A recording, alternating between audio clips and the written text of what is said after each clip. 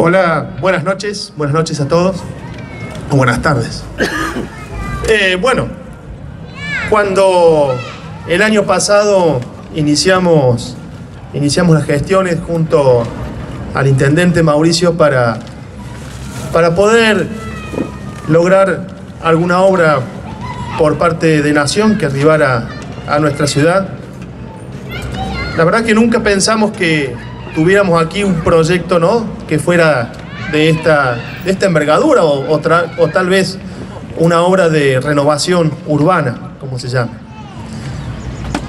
Cabe aclarar aquí que los materiales, el grueso de los materiales que se incorporaron a esta obra provienen de Nación, son materiales que tengo entendido vienen a través de un POS, que es un organismo que financia proyectos de Naciones Unidas y que son obras que tienden a mejorar la calidad de vida de los vecinos en las distintas ciudades del mundo.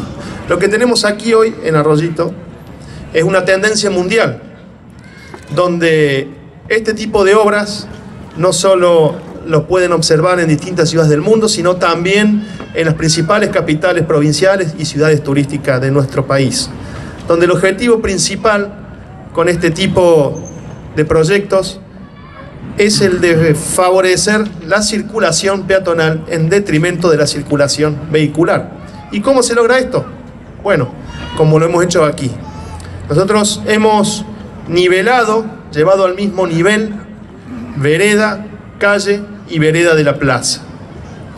Hemos elegido la calle Rivadavia, aquí frente al sector, porque es una de las obras donde, una de las calles, mejor dicho, donde no hay demasiados frentistas, con lo cual este, con lo cual no podría tener alguna resistencia, sino también por una cuestión también en base a los desagües pluviales. Como ustedes saben, en Arroyito cada vez que llueve hay muchas calles que se anegan y bueno, esta es una de los que menos lo era, así que por eso hemos tomado la decisión de hacerlo aquí, donde también aprovechamos para ampliar la superficie de la plaza.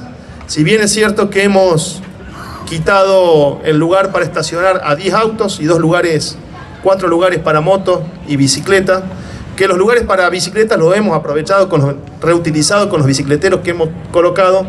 Creemos que estos 10 lugares que se pierdan de estacionamiento no van a afectar demasiado al estacionamiento de todo el centro. Como les seguía diciendo, aquí se favorece lo que es la circulación peatonal, la circulación sobre todo de personas con alguna dificultad para movilizarse.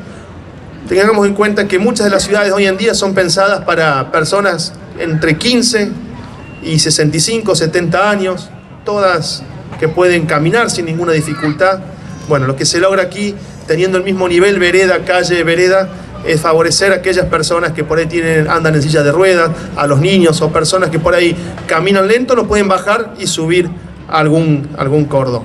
¿Cómo lo hemos logrado? Bueno, hemos aprovechado para renovar el mosaico rosa de las veredas, colocando este nuevo solado, este nuevo mosaico. Hemos colocado 800 metros cuadrados de mosaico.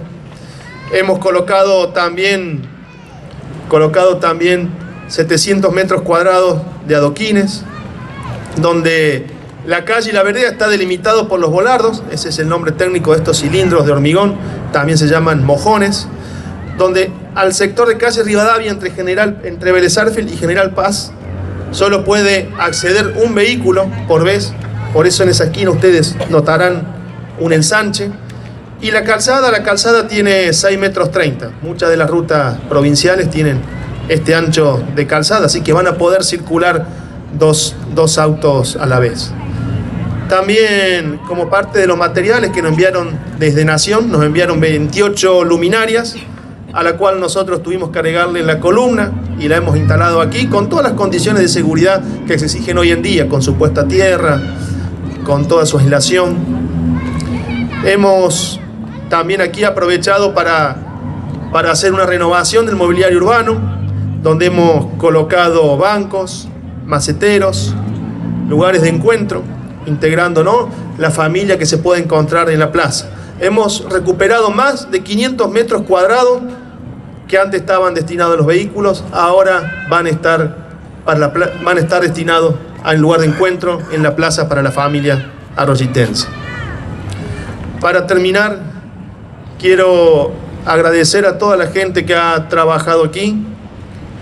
Si bien, eh, como les decía, el grueso de los materiales fue puesto o fue enviado por parte de Nación, aquí en esta obra han trabajado más de 40 personas, entre albaniles, pintores, electricistas, jardineros, seguridad, herreros.